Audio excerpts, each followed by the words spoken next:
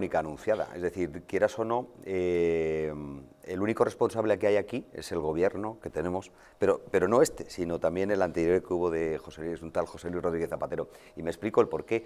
Porque ahora mismo nadie se acuerda, el señor ministro estaba dando los datos y que bueno, que estaban anunciando, lógicamente, los recortes que había en el sistema nuestro de pensiones, pero nadie se acuerda de que los gobiernos que hemos padecido y que estamos padeciendo actuales socialistas y comunistas, eh, se han gastado cantidad de gente en contratar a gente y crear nuevos ministerios que no han servido para nada. Es decir, la cantidad de asesores, la cantidad de, gente que depende de ellos. Es decir, la única creación de, empleo que ha habido, escasa, por no decir nula, ha sido la contratación de gente para, nuevas carteras de, ministerios y de, asesores. Es decir, eh, viene siendo repetida esta, práctica en este tipo de gobiernos eh, progresistas comunistas.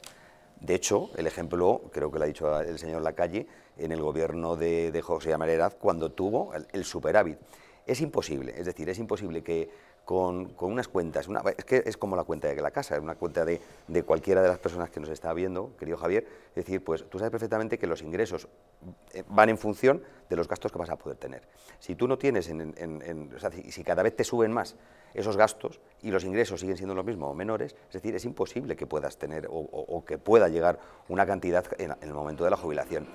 Estos son parches, ha habido siempre parches, es decir, es verdad que es un sistema, como antes también decía el, especialista, eh, Daniel, que, a ver, que es, injusto nuestro sistema de jubilación, ¿no? Eh, no es proporcional, yo creo que efectivamente no es proporcional. Eh, si los gobiernos que tenemos o que tenemos, hemos padecido y estamos padeciendo no miran en que la iniciativa